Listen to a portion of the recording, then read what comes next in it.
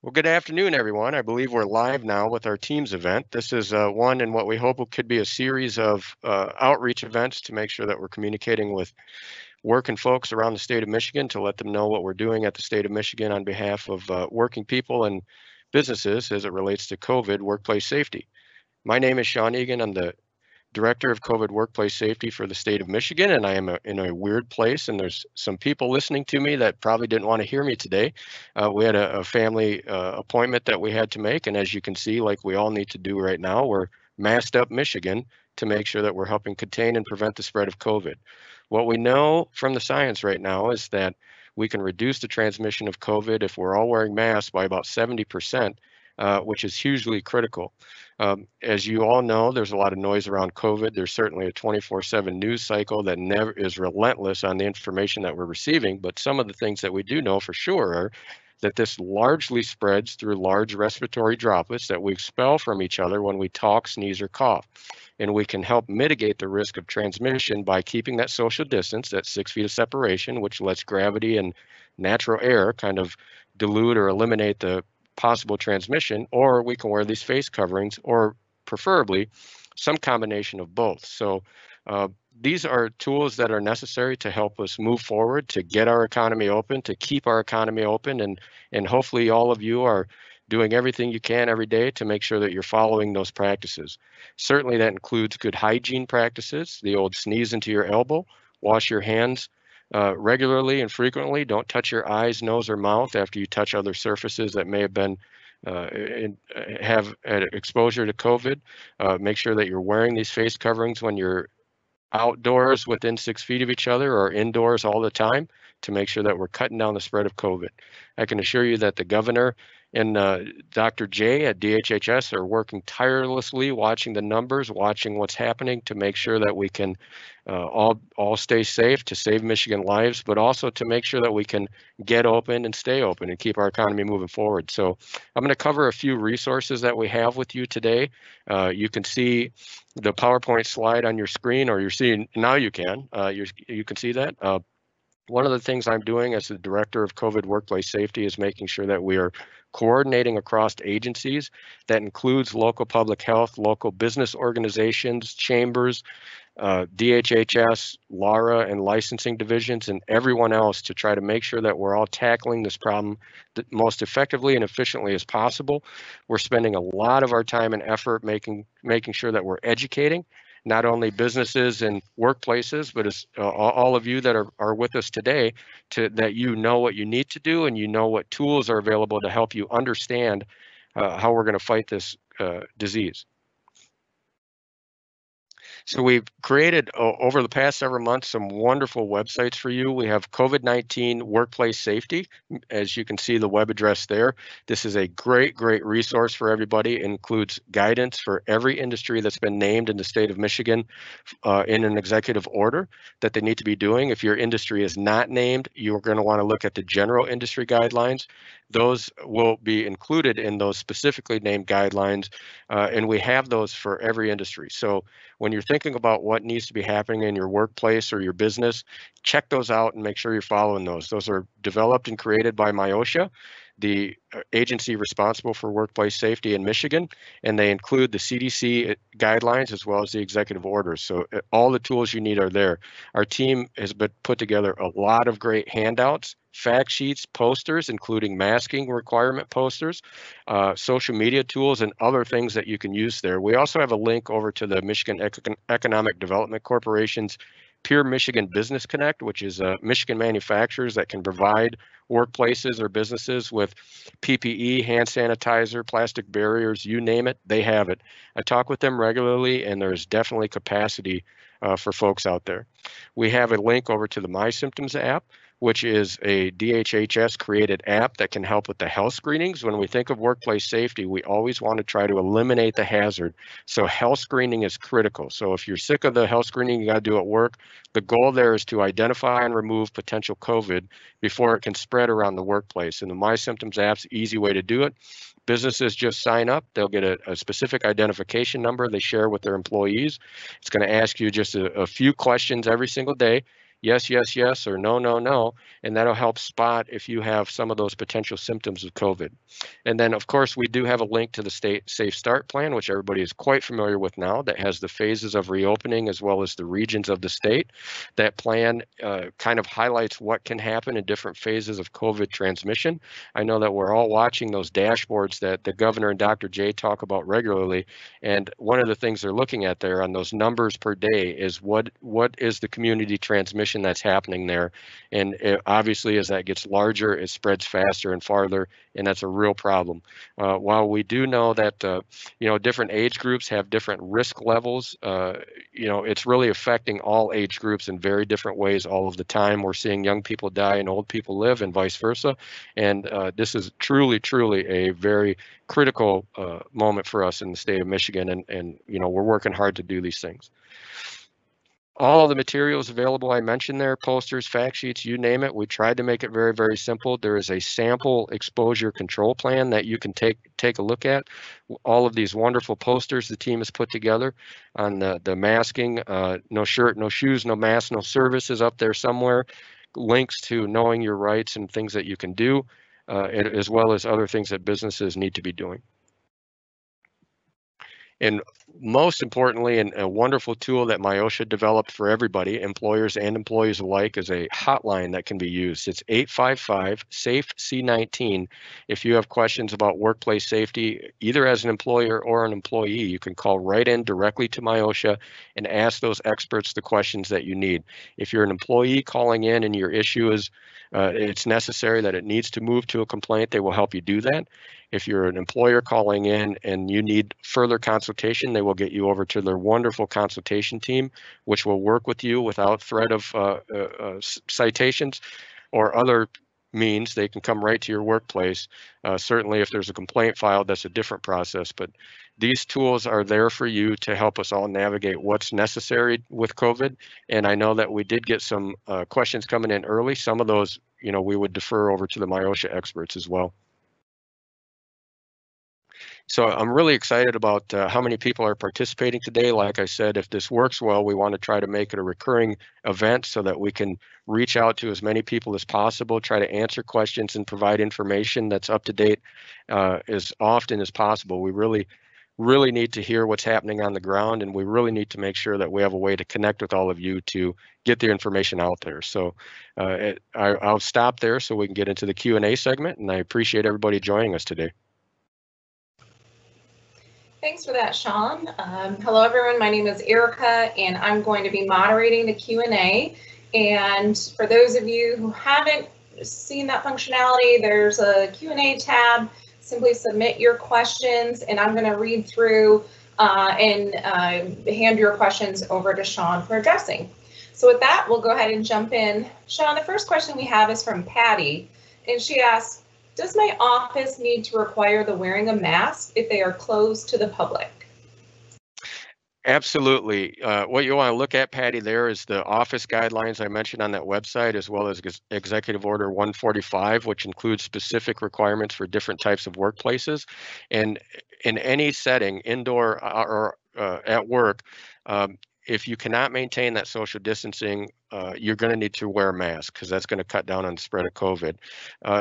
If you're in common areas, you're going to need to wear a mask. If you're going through hallways or other places where you may uh, cross paths with somebody, you're going to need to wear that face covering.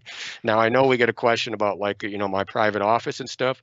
Obviously, where you can maintain that social distance, uh, that's not going to be an issue. But what we really want you to focus in on is when you're going to be crossing paths, when people are going to get too close together, because we need to do both that social distancing and then uh, the mask to cut down.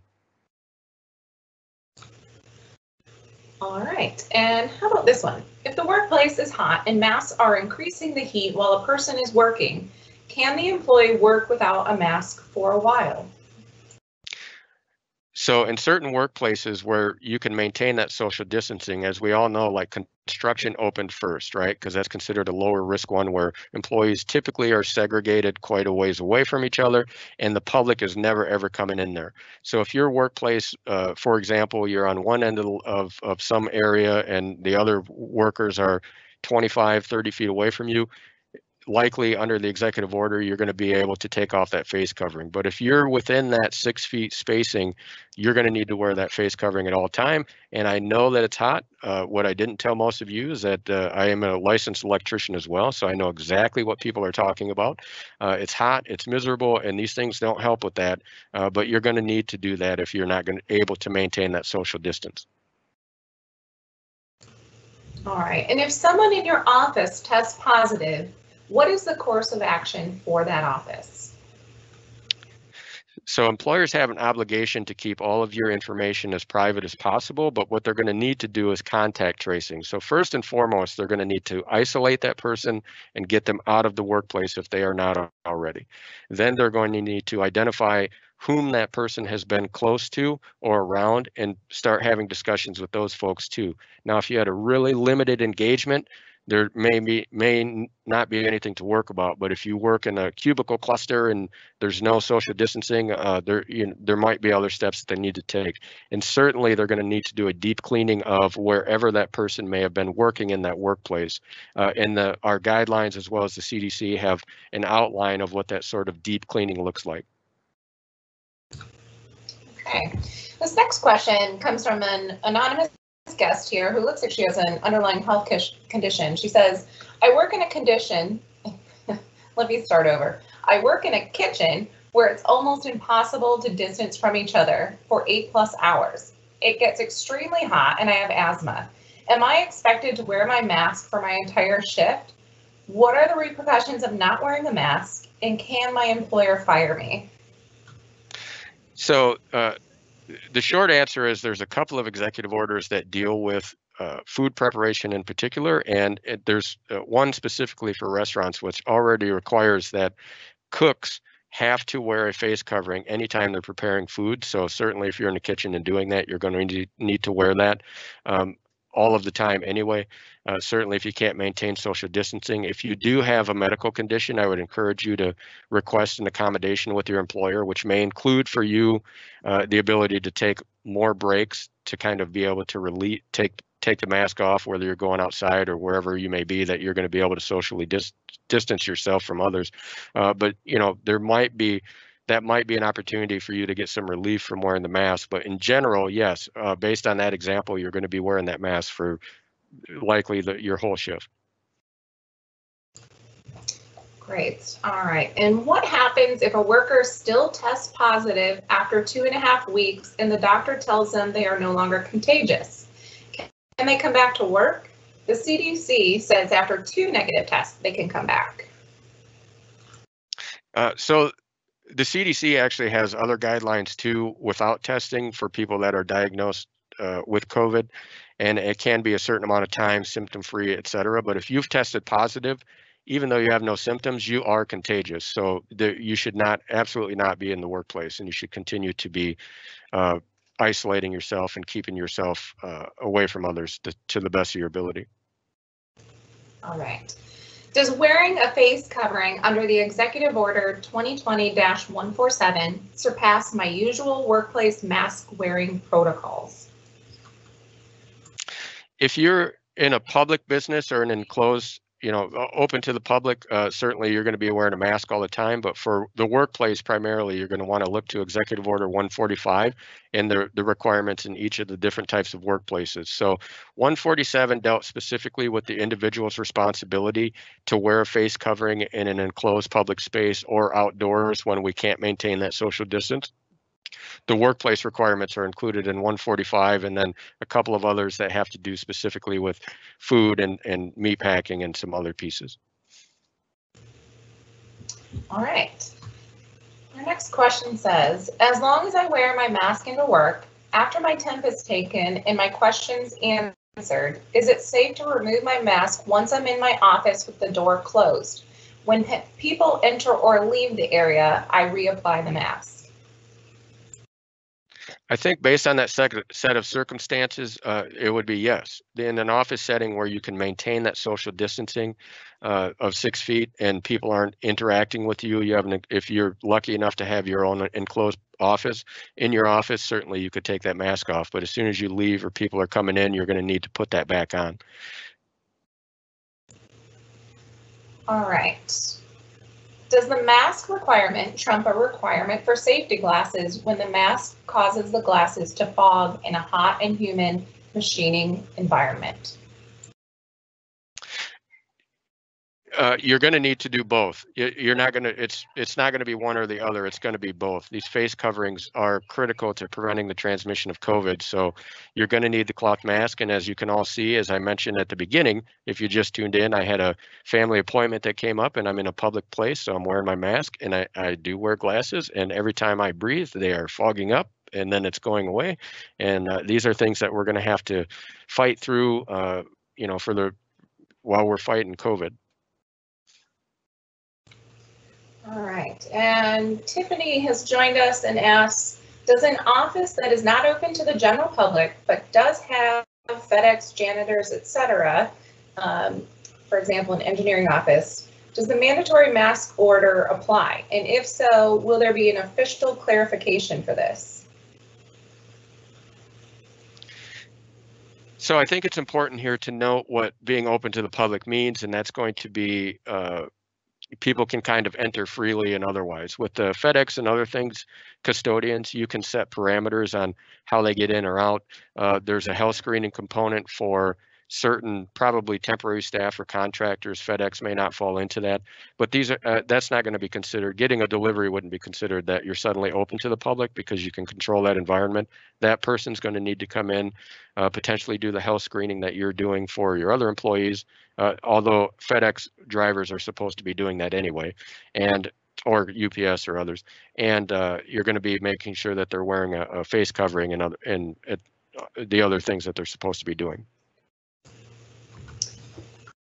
All right. And this one you touched on a little bit already, Sean, but um, if you could just go over the executive order. Uh, we've got a question. Does Executive Order 2020-147 cancel uh, 145? They seem to have conflicting mask guidelines, uh, with 145 saying masks are mandatory unless you can maintain six feet of social distancing, um, whereas 140 says 147 seven says at all times indoors in public space. Yeah, I think uh, to that question again, I think uh, make sure when we're reading 147 that what we're seeing, right? This is uh, a mask requirement that's specific to individuals when they're going outdoors or into an enclosed public space. So if we cannot maintain that social distancing or we're going indoors in a public space. So what does public mean, right? A manufacturer uh, facility is not public. They can control who's coming in and going out. And we can do the health screening to make sure that we're keeping COVID out of the workplace. When we're thinking about a public space like a retail store or gas station or something, the store itself is going to have very limited control over who's coming in or out. Uh, and that's going to be that public environment. So when you're thinking about your workplace, look at 145. Uh, when you're thinking about what you need to do as an individual, think about 147. And as a business, we know that 147 requires them to decline service to those that are not wearing face coverings. So that's an additional piece. And the goal of that is to protect employees. When we have high community transmission, uh, you know, somewhere 40 plus percent of the folks that are spreading this virus are asymptomatic or pre-symptomatic. Think about that. That means they feel fine.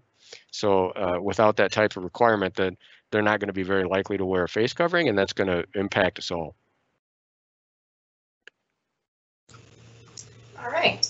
Are manufacturing plants required to wear a mask all times in a warehouse setting?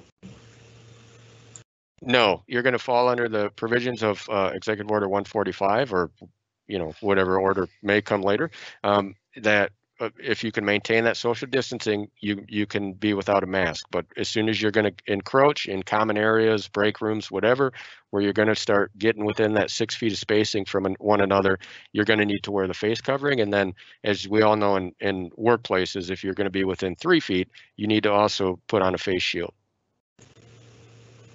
All right. Uh, and what is the responsibility of my employer to let me know about coworkers who test positive?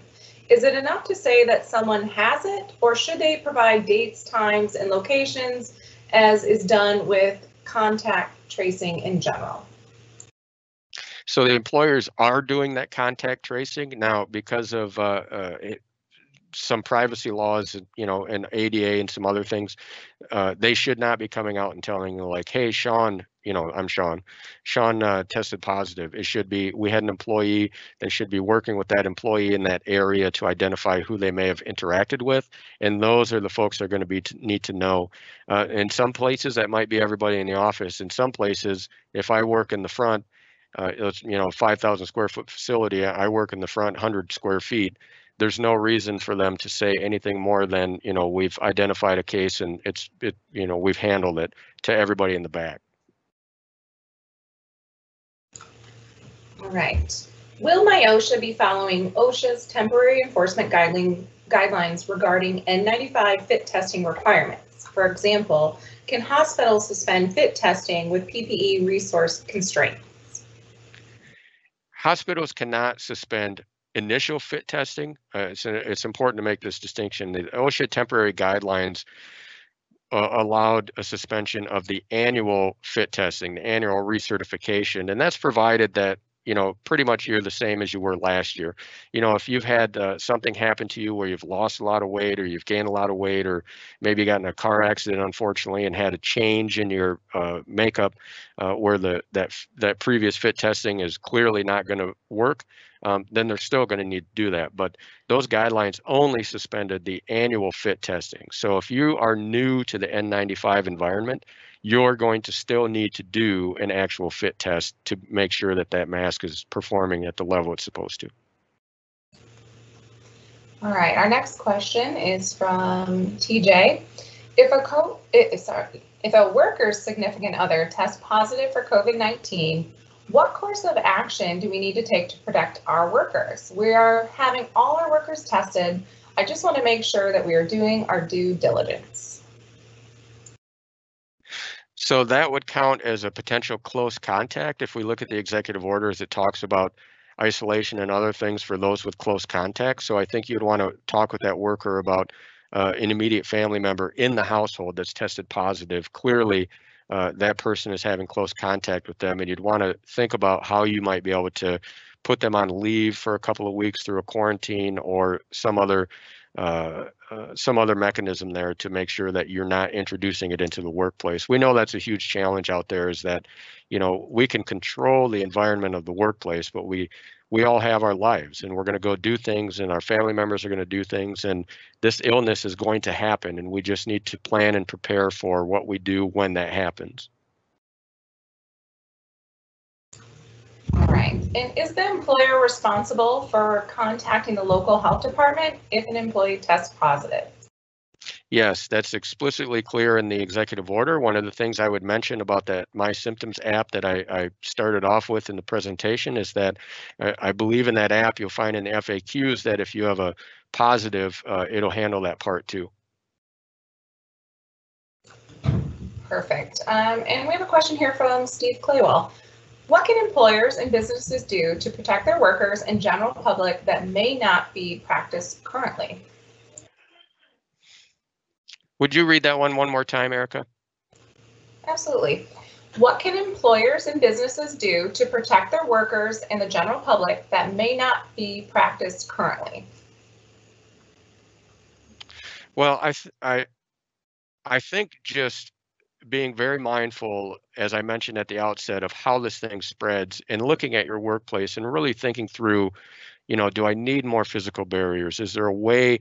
So here's here's an example, right? So we saw at uh, a bar in Lansing had a big outbreak, and one of the things that you saw there was people were lining up outside. I mean, uh, that employer could have thought through how do how can I break up these lines if people are lining up outside? How do I get people out of the line, knowing that you know, yeah, I have capacity limits indoors, but just communication, um, thinking through how the virus spreads, uh, making sure that you're encouraging and requiring people to mask up, uh, you know, really just continuing to be thoughtful day in and day out about, you know, how, is there is there one more thing that I can do that will help whomever's around me, whoever's coming in here, prevent the spread of this disease. And, uh, you know, together we'll do that.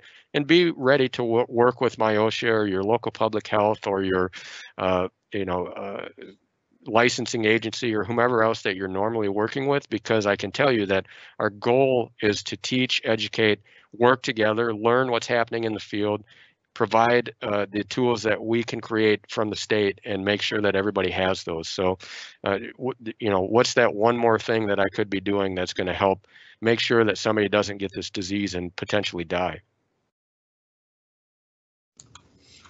Thanks for that, Sean. Our next question is from Leighton. Um, if a worker tests positive, who, if anyone else, must quarantine for 14 days, or can they simply produce a negative test to continue working? Um, so that's going to depend on how close and how long the contact was. The employer should be doing contact tracing. I would encourage them to work with their local public health departments too to help identify who might have been exposed long enough that could beco- have become infected with the disease. Um, if you did test positive, a negative test does not get you out of the quarantine period, just so you know. So uh, you, you, if you test positive, you're still going to need to do that 14 day quarantine period uh, before you can come back to work. And a negative test, even in between there, is not going to alleviate that. All right, and Mike asks, in an office environment, and if an employee leaves the premise for an appointment, should their temperature um, be checked and questionnaire be asked again? So it sounds like if they're leaving their work site and Sure. an appointment or lunch and coming back, do they go through the health screening again? Uh, yes, if you are doing the temperature screening, uh, I would encourage you to do it again. And the health screening, it, you know, frankly, is just a couple of questions. So I would encourage you just to do that again. All right, we've had a, some really great um, participation and questions that have come in. We're about out of time. I'm going to read one last question, and then after that, uh, Sean, you can let us know if you have anything to add before we close out um, this event. So our last question for today is if a construction site has many subcontractors at the job site, including out-of-state contractors, are the workers required to wear masks at all times when working indoors, even if they can somewhat maintain six feet of social distancing most of the time? So the short answer to that is that if they can, eh, the most of the time is the problem, but if they can maintain, clearly maintain six feet of social distancing, even indoors, uh, under Executive Order 145, they would not be required to wear the face covering. My let's make a stretch goal recommendation is that if we are indoors, barring us being in a huge setting where we are clearly very, very far apart, wear the mask. We know it cuts transmission by about 70%. Just wear the face coverings to help protect us all and protect our economy, frankly.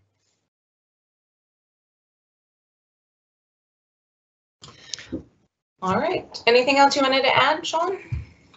Um, I would just like, uh, again, like to thank everybody for joining in today. I know that uh, we're having a lot of conversations about this. We're going to continue to have a lot of conversations about COVID and things as as they develop and change. We know that we, uh, the governor has put forth probably what science is telling us is the absolute strongest tool to deal with this. That you see me wearing as well, is that we mask up Michigan. That we can prevent the spread of COVID if we are preventing it from escaping our own bodies. And that most people that, or not most, but men, a large uh, portion of the people that are spreading this thing don't even know they have it. They feel fine. So this is a very small tool and a very inexpensive way for us to help get open and stay open.